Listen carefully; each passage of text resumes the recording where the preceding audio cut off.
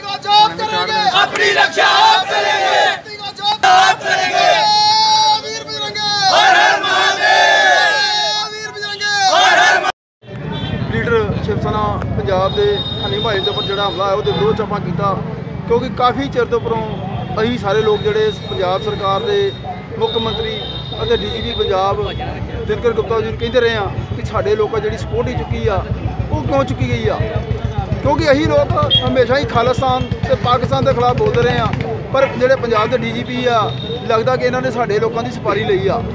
ਹਿੰਦੂ ਲੀਡਰਾਂ ਦੀ ਸਪਾਰੀ ਲਈ ਆ। ਕਿਉਂਕਿ ਜਦੋਂ ਵੀ ਕੋਈ ਕੰਮ ਹੁੰਦਾ ਵਾ, ਤੇ ਇਹ ਸਾਡੇ ਲੋਕਾਂ ਦੀ ਸਪੋਰਟ ਹੀ ਚੁੱਕ ਲੈਂਦੇ ਆ।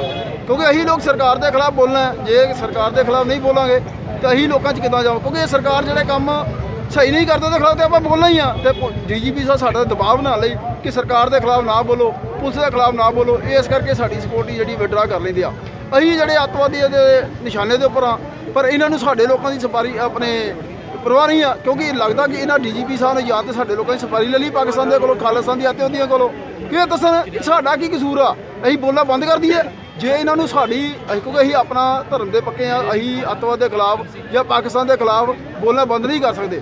ਤੇ ਜੇ ਇਹਨਾਂ ਨੂੰ ਸਾਡੀਆਂ ਨੀਤੀਆਂ ਨਹੀਂ ਪਸੰਦ ਤੇ ਬਿਲਕੁਲ ਇਹ ਸਾਡੇ ਕੋਲੋਂ ਅਸੀਂ ਆਪ- ਆਪਣਾ ਹਸਤਾਖਰ ਹਸਤਾਖਰ ਅਭਿਆਨ ਜਿਹੜਾ ਆਪਣੇ ਬੰਦੇ ਨੂੰ ਦਿਆ ਸ਼ਿਵ ਸੈਨਿਕਾਂ ਦਾ ਖੂਨ ਨਾਲ ਜਿਹੜਾ ਭਰਿਆ ਲੈਟਰ ਜਿਹੜਾ ਡੀਜੀਪੀ ਸਾਹਿਬ ਨੂੰ ਭੇਜਾਂਗੇ, ਪੰਜਾਬ ਦੇ ਮੁੱਖ ਮੰਤਰੀ ਨੂੰ ਭੇਜਾਂਗੇ, ਕੇਂਦਰ ਸਰਕਾਰ ਨੂੰ ਭੇਜਾਂਗੇ, ਤਾਂ ਜੋ ਇਹਨਾਂ ਨੂੰ ਜੇ ਜੇ ਖੂਨ ਚਾਹੀਦਾ ਸਾਡੇ ਇੱਕ ਇੱਕ ਲੀਡਰ ਨੂੰ ਇਕੱਲੇ ਇਕੱਲੇ ਮਾਰਨਾ ਤੇ ਅਸੀਂ ਸਾਰੇ ਜਿਹੜੇ ਇਕੱਠੇ ਹੋ ਗਏ ਜਿਹੜੀ ਆਪਣੀ ਕੁਰਬਾਨੀ ਦੇਣ ਨੂੰ ਤਿਆਰ ਬੈਠੇ ਆ ਅੱਜ ਜਿਹੜਾ ਅੱਜ ਜਿਹੜਾ ਰੋਸ ਆਪਣੇ ਅੱਜ ਇੱਥੋਂ ਤੁਹਾਡੇ ਮਾਧਿਅਮ ਰਾਹੀਂ ਕੱਲ ਬਟਾਲਾ ਬੰਦ ਦੀ ਕਾਲ ਦੇਣੀ ਸੀ ਪਰ ਸਰਕਾਰ ਨੇ ਐਸਐਸਪੀ ਸਾਹਿਬ ਨੇ ਬੇ- ਮਤਲਬ ਕਿਹਾ, ਬਹੁਤ ਜ਼ਿਆਦਾ ਦਬਾਅ ਬਣਾਇਆ ਕਿ ਨਹੀਂ ਤੁਸੀਂ ਬੰਦ ਦੀ ਗੱਲ ਨਹੀਂ ਦੇਣੀ, ਕਿਉਂਕਿ ਇਹਦਾ ਸਾਡੇ ਕੋਲ ਹੋਰ ਹੱਲ ਨਹੀਂ ਆ, ਜਾਂ ਧਰਨੇ ਪ੍ਰਦਰਸ਼ਨ ਲਈ ਜਾਂ ਬੰਦ ਦੀ ਗੱਲ ਦੇ ਦਈਏ।